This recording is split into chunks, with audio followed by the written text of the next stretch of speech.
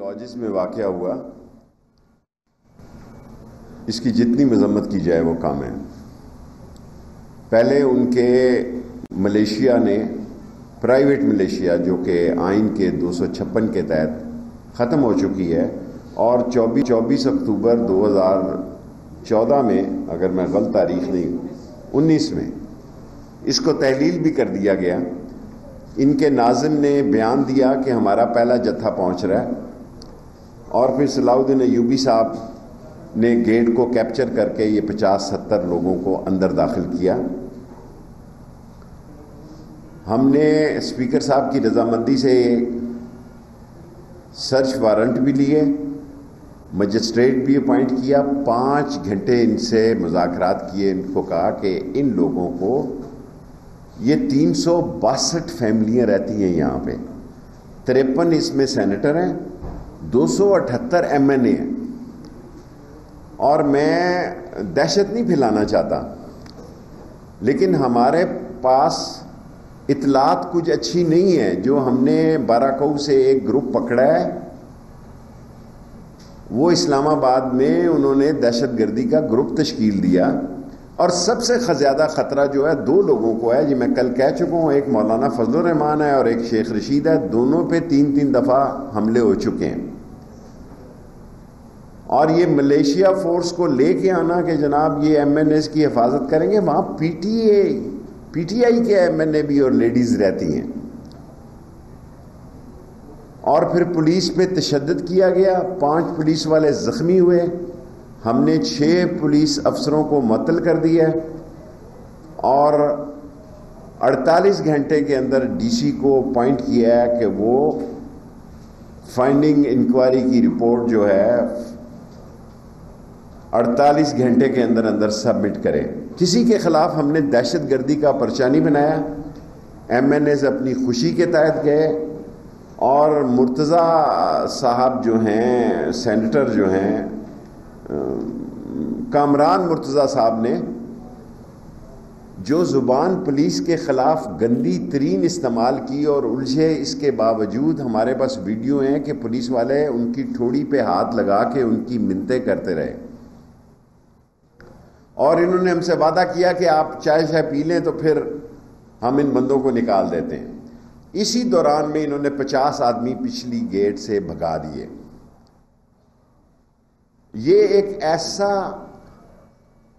सिलसिला बनाना चाह रहे हैं, क्योंकि इनके पास 200 172 बंदे नहीं हैं। और फजल रहमान साहब कल शाहजेब को भी पढ़ गए कि तू कौन होता है? ये कहने वाला कि 172 आदमी है या नहीं है।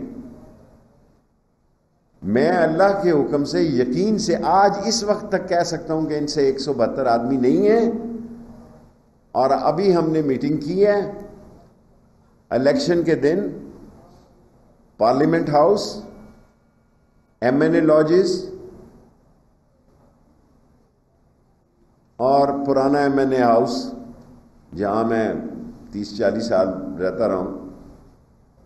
उन दोनों को रेंजर्स और एफसी के हवाले करें ताकि पुलिस के तावन के साथ रेंजर्स और एफसी की भी सहूलत हो और इस मुल्क में कोई ऐसा वाक़ ना हो जाए कि जो कि किसी मुल्क की बदनामी का बायस बने और इंसार इस्लाम के के पी के के चीफ सेक्रेटरी को और आईजी को मैंने हदायत की है कि कोई बंदा यूनिफॉर्म में इस्लामाबाद की तरफ़ ना आए। कुछ हमने मर्दान में और नौशहरा में भी एक्शन लिया है। और अगर किसी एमएनए को सिक्योरिटी की ज़रूरत है तो हमें बताएँ। हम सिक्योरिटी देने के लिए तैयार हैं। बाद में जब आपके 12 एमएनए कम हो जाने हैं तो आप वज़ीर दाखिला पे ना इल्ज़ाम लगाएँ।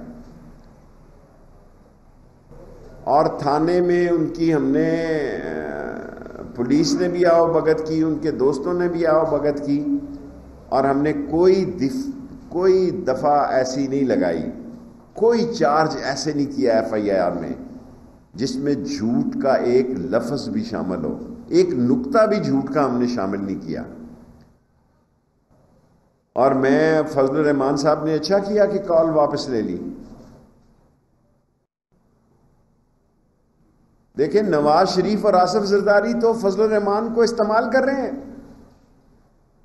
जो भी अदम एतमाद की सूरत हाल होनी है, इनकी जूतियों में दाल बटनी है। ये उल्टे पास बरेली को बातें कर रहे हैं।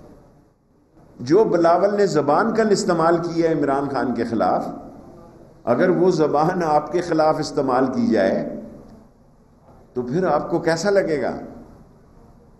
फिर आप चीखेंगे, चिल्लाएँगे आज जो मैं अहम बात करना चाहता हूँ कि ये अदम अतमाद से भागना चाहते हैं और अदम अतमाद से जान छुड़ाना चाहते हैं। मैं फिर दोहराता हूँ कि ये अदम एतमाद को सबोटाज करना चाहते हैं।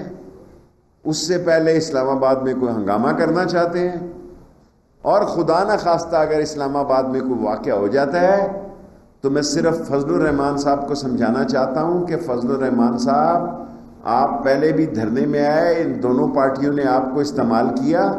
आप खुदा और रसूल के वास्ते इन दीनी मदरसे के तलबा को इस्तेमाल ना करें। वैसे भी वहाँ पे छुट्टियाँ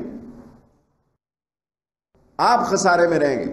मैं नहीं छोड़ूँगा किसी आदमी को जिसने कानून में हाथ लिया। जब तक मैं वज़ीर दाखिला हूँ, वाज तौर पर कहता हूँ, अल्लाह के हुक्म से कुचल के रख दूँगा जो आदमी कानून और को इख्तियार में लेगा। मैं नहीं लिहाज करूँगा कि ये कितना बड़ा लीडर और कितना बड़ा मोतबिर है और कितना बड़ा पार्टी का हेड है। बाद में अदम एतमाद वाले दिन उनको ला के उनका वोट दिलवा दूँगा। जितना मर्ज़ी पार्टी लीडर हो, अगर वो साजिश में मुलवस पाया गया, अगर वो इन्वॉल्व हुआ अमन अमान के मसले में कानून को हाथ लेने में तो कानून उसको हाथ में लेगा। और वोटिंग वाले दिन उसको प्रोड्यूस करेंगे।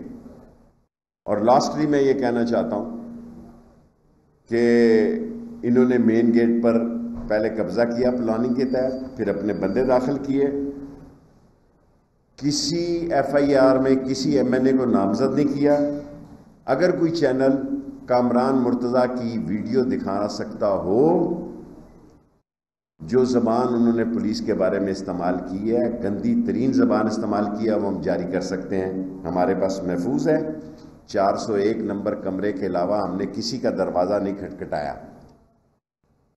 और ये कपड़े चेंज करके भागे हैं वहाँ से। बाज लोग मेरी तरह मोटे तगड़े थे, उनको वो कपड़े नहीं आए।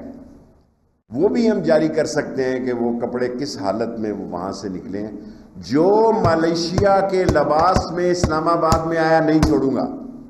सुन ले कान खोल के सारे। अभी मैंने लिहाज किया क्योंकि मैं चाहता हूँ अदम एतमाद एक जमहूरी हक है अपोजिशन का। अदम एतमाद जमहूरियत का हिस्सा है और शुक्र है अब आप कह रहे हैं कि फौज न्यूट्रल है, बहुत अच्छी बात है। मैं जनरल बाजवा साहब को कॉलेज के वक्त से जानता हूँ, वो डेमोक्रेसी के साथ खड़े होंगे। वो न्यूट्रल के अंपायर के मसले में खड़े होंगे। और एक बंदे तो आपने लाने हैं ना। आप क्या तासर देते हैं मलेशिया फोर्स को लाके? यहाँ कोई किसी एमएनए पे न हाथ लगाएगा न उंगली उठाएगा न मैली नज़र से देखेगा। ता वक्त के वो कानून को हाथ में नहीं लेगा सो so, 22 तेईस को छुट्टी कर रहे हैं इस्लामाबाद में। तेईस को एक तारीखी मार्च है। आज वज़ीर आज़म साहब के साथ मैंने जाना था। मेरा पसंदीदा जहाज़ ये टेन सी की फ़्लाइंग पास्ट है, लेकिन यहाँ को फैसले करने थे, इसलिए मैं रुक गया हूँ। मैं तमाम अपोजिशन को दरख्वास्त करना चाहता हूँ। किसी गलतफहमी का शिकार न रहना। किसी गलतफहमी का शिकार नहीं रहना। आपको पूरा हक हासिल है कि आप हमारे ख़िलाफ़ वोट का इस्तेमाल करें। लेकिन आपको ये हक हासिल नहीं है कि प्राइवेट मलेशिया के ज़रिए या मलेशिया के ज़रिए इस्लामाबाद के रेड जोन में आके आप अपनी दहशत गर्दी फैलाएँ ये टेलर के तौर पर हमने नॉर्मल पर्चे दिए हैं, फिर हम दहशत गर्दी के पर्चे देंगे, फिर हम कानून के वो पर्चे देंगे, जब आप कहेंगे कि आपके बंदे उठाए गए, लेकिन जो बंदे हम उठाएँगे, अगर किसी ने कानून को हाथ में लिया उसको असम्बली में प्रोड्यूस करेंगे। लॉजिस को एमएनए हॉस्टल को पार्लियामेंट को रेंजर्स और एफसी के हवाले करने का फैसला किया। अभी हमने वो मैंने अनाउंस कर दिया। नहीं क्वेश्चन जी सर।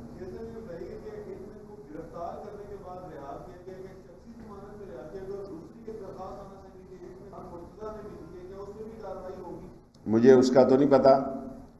हमने पाँच घंटे इन्होंने हमारे ज़ाया किए क्योंकि एम एन ए काबिल एहतराम है। इन्होंने कहा, ये चाय चाय पी ले तो फिर इनको निकाल देते हैं। ये पुलिस का वक्त ज़ाया करते रहे। इसमें पचास एक आदमी निकल गए। बीस एक बंदे, वो चार सौ एक नंबर कमरा मेरा ख्याल सलाउद्दीन का उसमें थे। फिर उनको पकड़ लिया, किसी एम एन ए को गिरफ़्तार नहीं किया। और मैंने पुलिस को हदायत की कि ऐसा पर्चा न दिया जाए जो कि दहशत गर्दी के ज़ुमरे में आता हो, वरना ये अदम अतमाद से भी भाग जाएँगे ये किसी और तरफ़ जाएँगे, और ये किसी और तरफ़ जाएँगे तो धर लिए जाएँगे। मैंने एक सीनियर पॉलिटिकल वर्कर की हैसियत से, senior political parliamentary union worker की हैसियत से आपको कहता हूँ कि आपके लिए बुरा वक्त आने वाला है। क्योंकि आप इमरान खान से जाती लड़ाई लड़ने जा रहे हैं जमहूरी लड़ाई नहीं लड़ने जा रहे और इसमें आपकी सियासत का पता साफ़ हो सकता है और झाड़ू फिर सकता है। ऐसा कदम ना उठाएँ अपने एक सौ बहत्तर बंदे को लाएँ अगर हैं नहीं है तो चुप करके पुरानी तनख्वाह पे काम करें। अल्लाह अल्लाह खैर साहब। जी एजाज।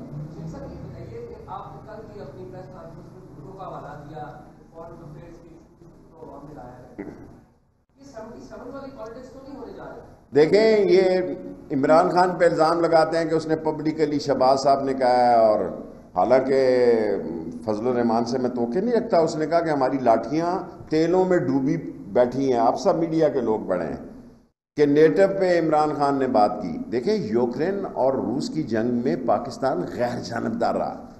इमरान खान ने ये कहा कि हम अमेरिका के साथ भी दोस्ती है, रूस के साथ भी दोस्ती है और चीन के साथ भी दोस्ती है। आप पुराने पुराने क्लिप जियो से निकाल के बताएँ कि भुट्टो लियाकत बाग में क्या अमेरिका को कहा, कहा करता था। ये साम्राज्य साजिश है कि इस मुल्क में आज़ाद खारजा पॉलिसी जो इमरान खान की आदत में सर उठा रही है उसको नुकसान पहुँचाया जाए। नहीं पहुँच सकता इन आप देखेंगे कि मैंने भी लोगों को कहा कि इन इलेक्शन वाले दिन पार्लियामेंट के बाद शुक्राने की नफल अदा करेंगे।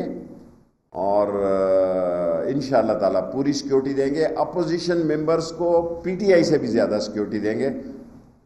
लेकिन कोई गलत फहमी का शिकार ना हो जाना। कानून जो है, वो कानून है सबके लिए।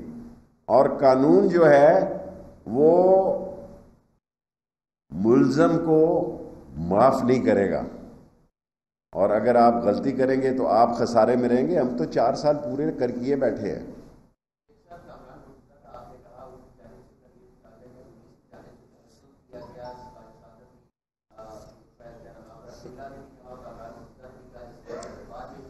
ये एजाज वहाँ था, ये अपना क्या नाम है इसका? कामरान ना? कमर वहाँ था, ये सारे, ये भी उधर थे। इनसे पूछे, कितना तशद हुआ? पुलिस बड़ी मजलूम होती है। कितना तशद हुआ? कितने जख्मी हुए? मेडिकल रिपोर्टें आ गई होंगी। जाएँ, बताएँ कितने टांके लगे। आपने तो ड्रोन को माफ़ नहीं कर रहे। ठीक कर रहे हैं, नहीं कर रहे? ये आपका ही नहीं हक है। लेकिन ड्रामे जो हैं ये आज से 40 साल पहले होते थे। अब ड्रामे का दौर चला गया। लोग ड्रामों से बड़ी स्क्रीन पे देखना चाहते हैं अखबारी बयान में नहीं देखना चाहते।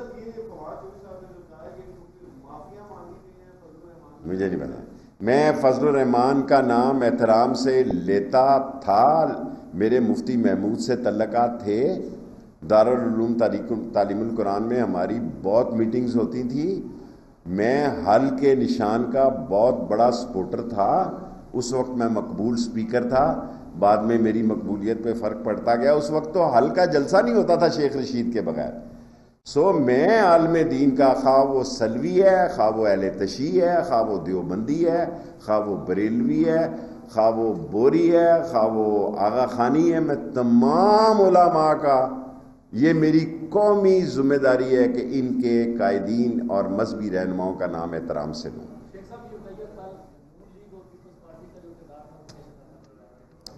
मैं समझता हूँ कि नून लीग और पीपल्स पार्टी वहाँ पहुँची ज़रूर है। बाज़ ख़वातीन को भी उन्होंने तलब किया। लेकिन कुछ मसला फजल रहमान साहब के साथ है, मेरी समझ से बाहर है। सारी कौम को बताना चाहता हूँ। कि फजल रहमान साहब पहले भी इस्तेमाल हुए, अब भी इस्तेमाल हो गए। नून लीग और पीपल्स पार्टी के अपने केसों में दिलचस्पी है और फजल रहमान साहब को उन्होंने बतौर सिंबल आगे रखा हुआ है मजहबी फोर्सेस को इस्तेमाल करने के लिए। और फजल रहमान है तो बड़ा समझदार है। मैं ये नहीं कहता कि समझदार नहीं है, लेकिन वो पीपल्स पार्टी और पहले यही लोग असम्बली में को हराम करार दिया इन्होंने। इन्होंने असम्बली पे लानत भेजी। इन्होंने असम्बली से रेजिग्नेशन की बात की। ये सारे आपके पास मौजूद हैं ये वीडियोस और फिर उसी असम्बली में ये उसको तस्लीम, अदम एतमाद का लाना इस बात का सबूत है कि ये हमें तस्लीम करते हैं।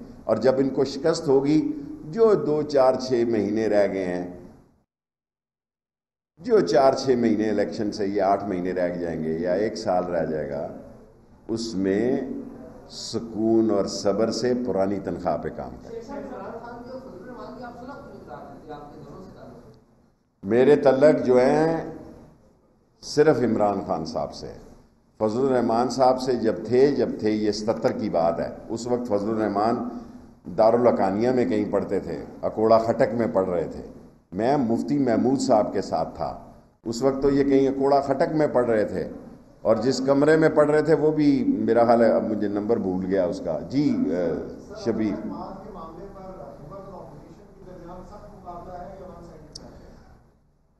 देखिए, मुकाबला तो मुकाबला होता है, लेकिन मुझे यकीन है कि इमरान खान साहब इन सुरखरू होंगे और